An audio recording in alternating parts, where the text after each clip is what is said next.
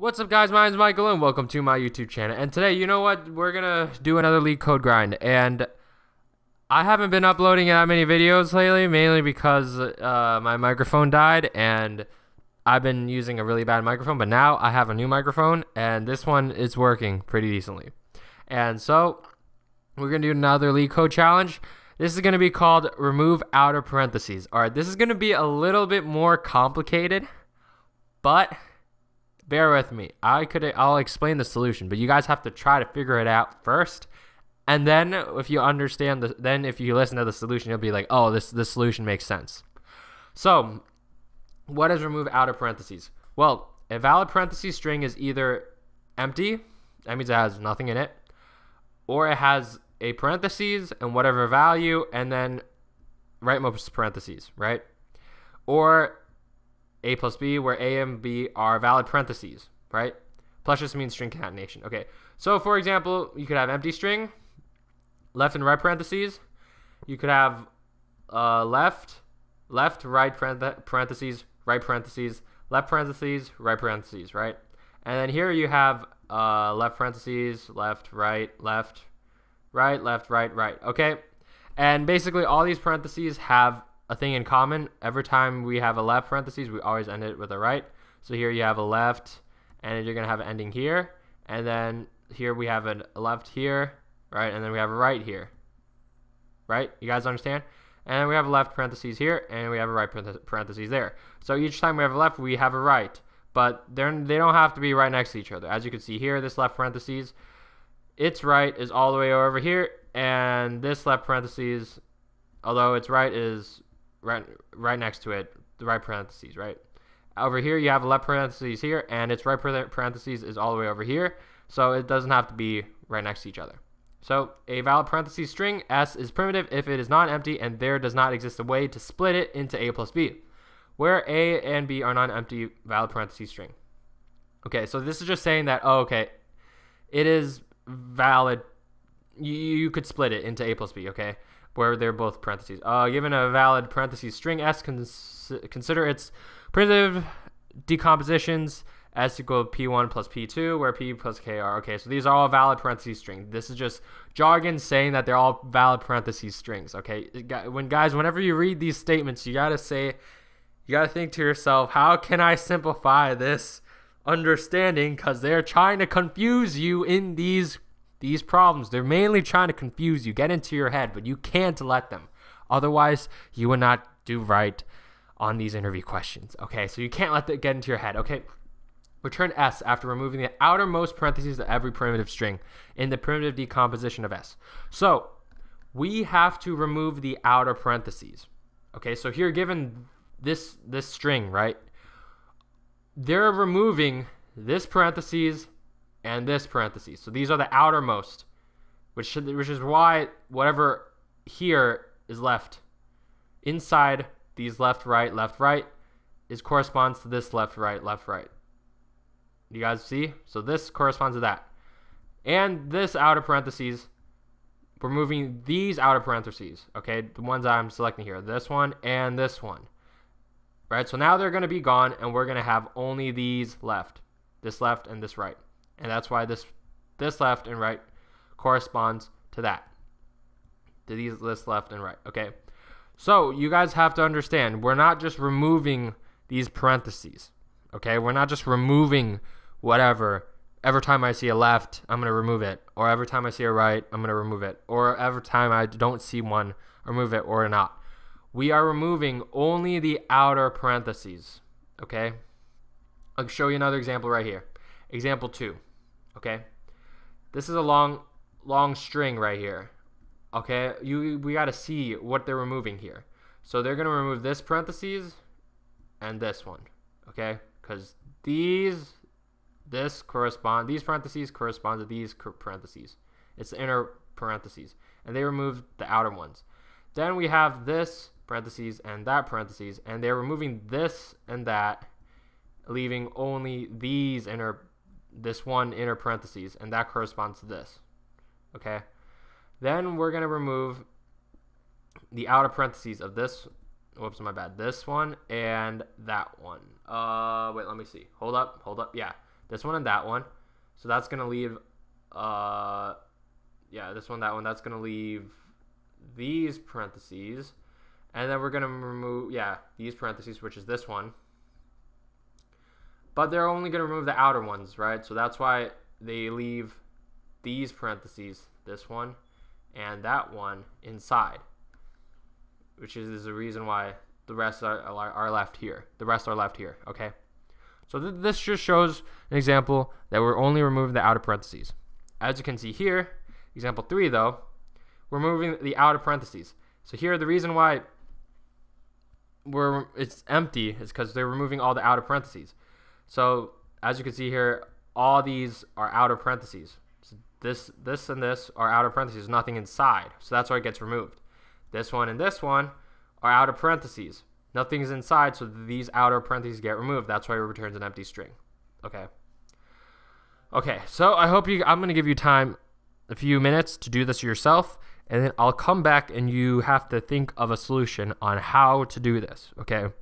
There is a way to do this with one pass, okay? One pass, as in one loop. You could figure it out, and I hope that you do. Okay, I'll give you a few minutes, and you got to figure it out. All right, guys, before I show you the solution, I got to tell you how this is to work. So given this string, we need to remove these parentheses, the outer ones. This left one, this right, the outer ones of these, so this left and that right. So we're to remove these parentheses. All right, to do that, I have to have an index to keep track of all the characters I'm going through. So all these values, all these values right here, all these values, I got to keep track. So I'm to call that I. I is to go from the start to the end and keep track of whatever I'm looking at. I need to keep track of the the values of the inner parentheses. I want to add the inner values, right? I don't want the outer, right? But I want to add all the inner. So I'm going to have an index called j. So here, I'm going to have in j is first going to point where i is. Okay? All right. So I'm going to go j. So in this case, i is equal to 0, j is equal to 0 in the beginning. Then I'm going to be like, okay, does does the value at i, whatever I'm looking at, is that a right parentheses? Because if it is, I don't want to add it. If it's a right parentheses, I want to decrease my index of what I'm adding by one. So in this case, let's say I was over here. If this is a right parentheses, I'm going to decrease my index by one. So then I'm not going to add it. I'm going to go to the inside. You get it? And if it's a left parentheses, I'm going to increase my index, whatever I'm adding, and I will add whatever that is, right? And, and that's how you get the insides values. That's how you get the inside values. We're to keep track of the index like this, okay? Alright guys, so I'm to explain to you how to do this now, okay? Well, first I got to undo this. Okay, so first of all, we need a string that we're returning. So I'm to create a string called to return. And this is to be the new string that's to have, initially it's going to be empty, but this is going to be the new string. And initially it's going to have the, it's initially it's going to be empty. And then we're basically just going to return the values that are with the outer parentheses removed. That's what this to return is for. And we're going to return it in the end. Okay, this is just to make sure that we're returning it okay? Now, we have to go through every value in the string s. And we have to keep track that using, um, to keep track of it, we have to go through every value in the string s, and we're going to use a simple for loop, int i equals 0. That's going to be our index called i. And then we're going to go through every every value until we reach the end of s dot size, which is the last the last character. Now, we need an index, like I said, j. We're going to start in, in the beginning at 0. This is going to keep track of the whatever value we're going to add. That's what it's going to do, okay? And basically, if it is, if it's, uh, basically, if, if we reach a, right parentheses, we're going to decrease j by 1. And if we reach a left parentheses, we're going to increase j by 1. And we're basically going to add whatever value s at j. Okay? That's what it means. So, how am I going to do this? Okay, so first, if uh, s at i, which is whatever we're looking at, right?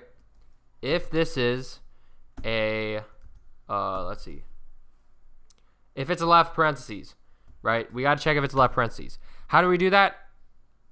We have to use ASCII because if whenever you go through every every value inside your string, that's a character. So you have to go through by checking the character number or the ASCII. The ASCII is basically a value for whatever character that is assigned.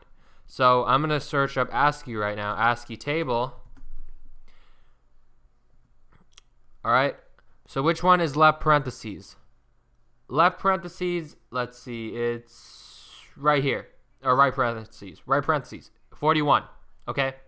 So if my value is 41, this is right parentheses. I'll put a comment right here just to say right parentheses. I'm going to decrease j. Okay? Now, if s at i is now a left parentheses, so which one is that? Left parentheses, this is left parentheses, this is left parentheses, that's 40. If it's 40, I'm going to increase j. Now, I'm going to check one thing.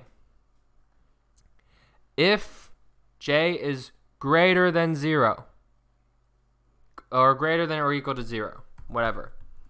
If j is greater than or equal to 0, I will add to return whatever character is at i. I hope you understand what I'm doing. Basically, if my index is between the start and the end, I'm going to add whatever character it is s at i. Okay? And the SII is the character I'm currently looking at. This basically just ensures that whatever you're adding, you're you're removing the left parentheses and the right parentheses. Okay? The outer ones. All right, let's run this code. Let's see if it works. Hopefully, if it works, ideally it should work because that's what. Okay. Ooh, okay, something's not right. This is a good thing about programming is that you sometimes sometimes things don't work out well. Oh, okay. Sij, my bad. Now it should work. Let's see. No. Okay, let me see. What what what is the issue that I'm having currently? I gotta think. Hmm, hmm, hmm, hmm. Okay, so it's actually s at i, and this should j cannot be zero. Reason being is that if j were to be zero, if j is not zero, right? That if j okay, if j is zero, then that means that we are basically adding whatever value it is initially, okay? Like the initial whatever we had before. This ensures that we're not adding whatever value initially that we had before. We're not adding the the outer parentheses basically. Okay, submit it.